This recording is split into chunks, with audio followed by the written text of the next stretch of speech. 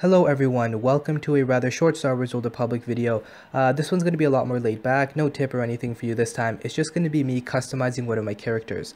Now, I've announced in my previous videos that I'm going to be doing some awesome giveaways and um, I'm going to be probably interacting with my subscribers like I've never really done before. I'm making a guild, um, I'm going to be inviting all the people that want to join that guild and they're going to have a chance to you know talk with me, we're going to play together and I'm going to be doing these awesome giveaways. And I decided that I need to have one character that I basically standardize as the character you guys can you know talk to me and interact uh, with me and uh, it's not going to be my main Sith Juggernaut because to be quite frank I like the guild I'm in. I really like their uh, their Tatooine stronghold. And um, and a lot of people already know this character and I get tons of whispers. I maybe want to I, I was thinking maybe I'd use another character. And I do have a Sith Assassin. And this Sith Assassin is called SWTOR TV and so I kind of was deciding that this was going to be the character, this is going to be the new guild master of the guild, this is going to be the character that everyone can maybe recognize in game, talk to and whisper, and we can play together and stuff like that. Um, and because he's called SWTOR TV, then it's very easy to recognize him. And I also needed just one theme kind of to customize his character with. And so I decided I was going to do is a Zakuul themed character and I, it was just going to basically deck him out as he's a Zakuul Knight. And as you guys can see, I went ahead and bought Senya's lightsaber pike for 69 million credits. I was really waiting for that to drop, honestly. I thought at least with the oppressor packs coming out, there's going to be uh, more items available on the GTN. It would drop at least below 50 million. And I did go ahead and buy this quite a while ago and I just paid the 69 million for it because I had the money. But um, but even now I've been checking the GTN to maybe see if it drops and the lowest I've seen is it drop drop is like 59, 58 million. It still hasn't dropped below 50 million. That is insane. Even though it's platinum, I get it. Like even the Defiant Vented Saber dropped lower than that. So I can't believe that a dual saber. I mean, the only people that can use this are Assassins and Shadows. Those are two out of the eight classes yet it's still selling for above 50 million credits. And so I went ahead and paid the hefty price. And now, as you guys can see, I've got the whole Zakuul Knight armor set. And I also decided to throw in a white dye.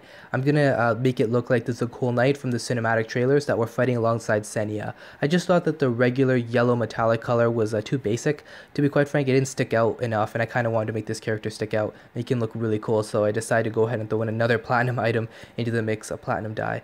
So this is a very easy way to blow out a lot of credits. And um, I think I put up a tweet a, few days ago called I blew through 500 million credits in, in one week. And this was one of the reasons why.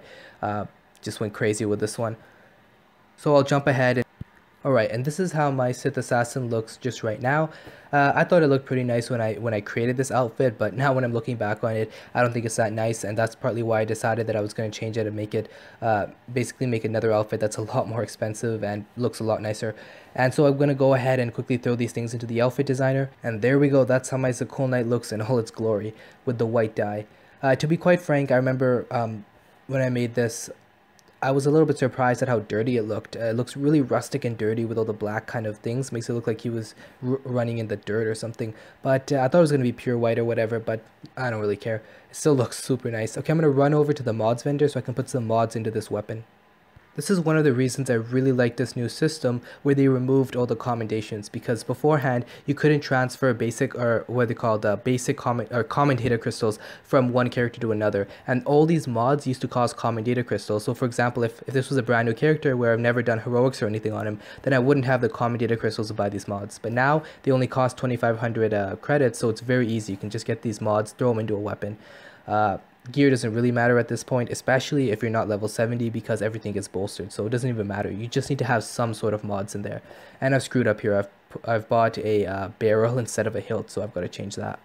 Alright, and there we have it. The mods are in. I'm actually really excited to see what this lightsaber pike looks like, but there's just one little thing I've got to do. I'm going to go ahead and change the color crystal. Now, i have got nothing wrong with the blue color crystal. That's from the cinematic trailers as well. Looks very cool, but I'm actually going to go ahead and make this uh, even more expensive and use my white-black eviscerating crystal, which I got from the Dark vs. Light pack, so I didn't really pay for it or anything, but I'm going to go ahead and put that crystal in there, and I'm really excited to see how this looks, so let's see now. And there we go.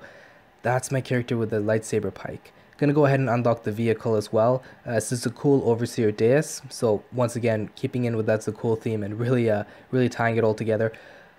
One other quick thing is um, weapon tuning. Now I was going to actually make this even more expensive by getting a weapon tuning, maybe a lightning one or something, but I decided against it because as an assassin you basically have a permanent lightning tuning, which is half of your abilities activate some sort of lightning thing on your weapon and makes it an even better version of lightning tuning. I'll show you a quick example here uh, with this one ability.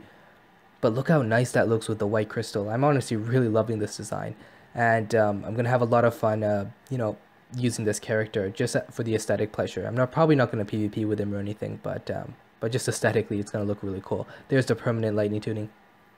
Alright guys, so hope you guys enjoyed this really short kind of laid back video and um, I'm really looking forward to kind of interacting with you guys and um, now you guys know one of my characters so feel free to shoot me a whisper. Uh, once again you see a SWTOR TV running around in, in a full white hides the Zakuul Knight armor set. That's going to be me. And uh, the other quick thing is the guild's going pretty well. I've already bought a guild uh, decorating it with the help of one of my subscribers. And um, i'm kind of organizing my cargo base around to see what giveaways i want to do but that's happening very very soon. And so i'm really looking forward to doing that. So hope you guys enjoyed this video. I'll see you in the next one